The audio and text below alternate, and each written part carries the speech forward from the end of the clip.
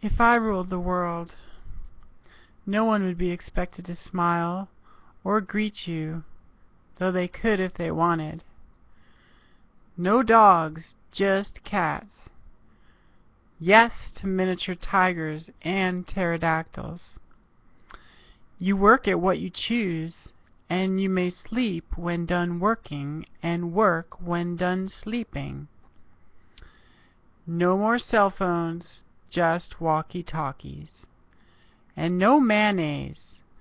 No social media, in fact, advertising and marketing are banned and punishable by tickle torture. No more pavement, and the animals live freely among us. No sentient being owns any other living thing. You can still own property, but no currency, just barter. You can still fight wars if you want, but no draft.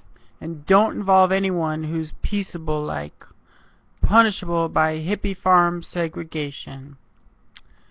Sorry, but no more cars or planes.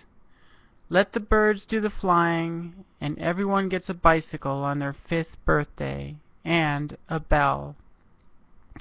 You can live in a house, but you won't need one. You can fall in love, but that's your business. No weddings and funerals are called commencements and celebrated madly.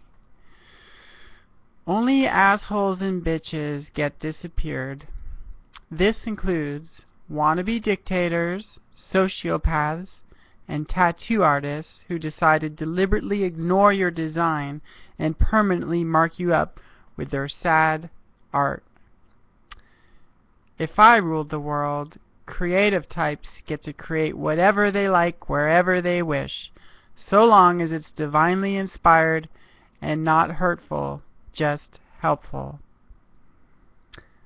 If you like my world, please follow me at katyamills.com and buy my books on Amazon.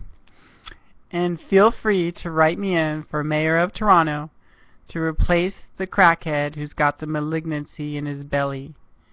May he get well soon.